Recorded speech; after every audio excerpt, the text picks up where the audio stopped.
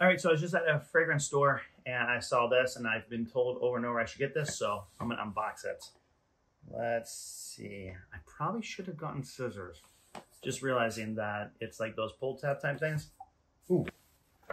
Let's see if this works. I'm sorry, Apple. I know I'm not supposed to use this for this, but hopefully I don't mess up the end of this. Because I did not think about this when I decided I was to unbox this. Oh, almost. Almost. See if I can. Oh, I'm Michael Malul. I love you to death, but can you not make this easier for bro without fingers to open? Just saying. Just saying. Oh, actually excited. This is my second only Michael Malul fragrance. I have the Gent Sense collection. I'm missing one of the five, but I have the other four. So I do have Jet Black Reserve, which I personally love that one. Everyone says I should get um, the other ones, but if I'm honest, I think Jet Black Reserve is the best one. It works on my skin, projects well, good performance. I'm doing a terrible job at this. Oh my goodness, gracious me. It'll be interesting to see if I leave all this on the video or if I cut it. A lot of times I cut or speed up this stuff because it's just boring, I think. Like, who wants to see some dude with that hand struggle to open something? There we go. There we go. All right, I got one of them. And now stuck in my hand. I'll put you right there. Boop. Now, what I'm hopeful for is I can just slide out the side of the box. I don't have to do the other side because that was too much work and it is not working. Ah, darn it. Don't make me do this. Please don't make me do this. Man. All right. Back to work. I'm literally just pushing this down.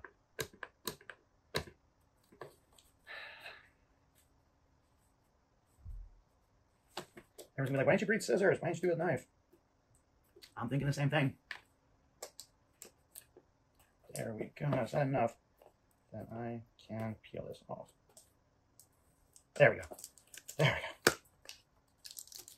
I'll put you right there. All right. There's the lid. There's the bottle. Look at that. That looks pretty cool. Malul, way to go on presentation. Check that bottle out. Ooh. Ooh, I really like this bottle. It is a EDP 100 mil. I hope I like this.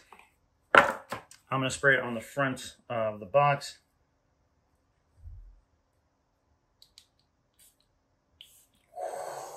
Check out this atomizer. Come on, son. Get it. Uh-oh. Smells really good. It is very fresh.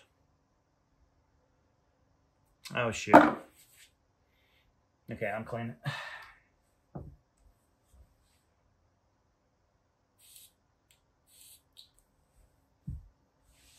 Let that dry for a second so I don't get hit with alcohol.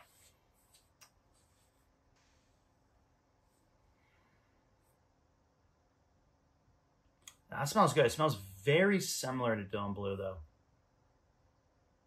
It's like Elysium and Dylan Blue together, in my opinion. Oh, that smells so good. I could totally see myself rocking this. Let's see. I think the notes are on the back. No, just... I guess it is, but it's a lot of uh, oil or notes. I do not know what that means. Sorry. Sorry, Michael Malul. Oh, this is so nice. I'm digging this. I'm the foam came out. That's funny. That's funny. It looks like they cut out the bottom of it right down there. So that was moving. Oh. So again, this is just first impressions. I don't know how long it lasts. I don't know how well it projects. I don't know sillage. I don't know any of that good information.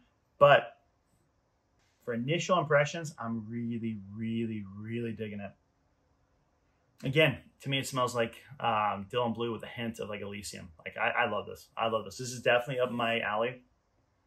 Now, I will say, once we figure out how it performs, projects, that'll determine, you know, whether I recommend it or, you know, price-wise, all that good stuff. So, so far, this feels like a good fragrance. Again, there should be a follow-up video in the near future or future, we'll see, where I'll talk more about this, or maybe I'll make a list and I'll talk about it there. So just keep your eyes out on the channel. Again, on TikTok and YouTube.